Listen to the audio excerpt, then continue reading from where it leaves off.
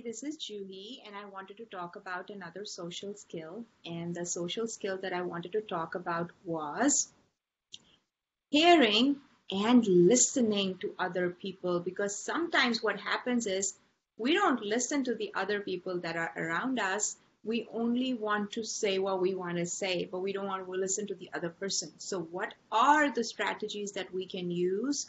And let's go to that. Okay.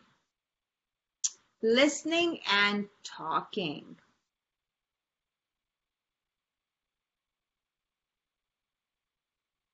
When someone says your name, hello,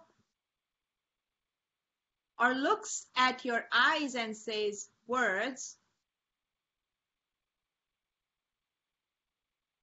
you need to stop whatever you're doing and you need to pay attention to that person. And you have to look with your eyes towards that person.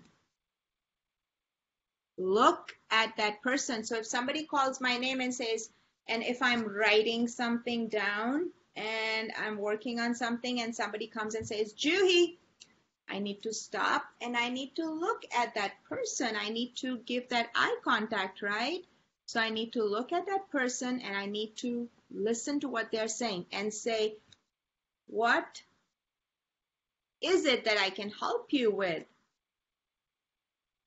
Then put your lips together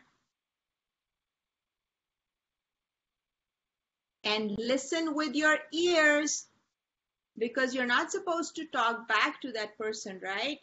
First, you the person talk to you, you look at them, you make the eye contact, and after that, you put your lips together and you hear with your ears. Once you hear with your ears, again, you keep your lips together while your friends are talking because you don't want to be disrespectful. You want to make sure that you're listening to what they are saying and then you respond back to them. When your friend is all done talking, then you use your words to talk back to them. And that's about it. So it's all about hearing and listening and then responding back to the others. You have to listen and then respond back. Again, you have to first, when somebody talks to you, stop and look and after looking, you have to stop talking and listen with your ears. After your friend has done talking, then you say something back to them. Okay, I hope that, that, that this video helps you. Best of luck.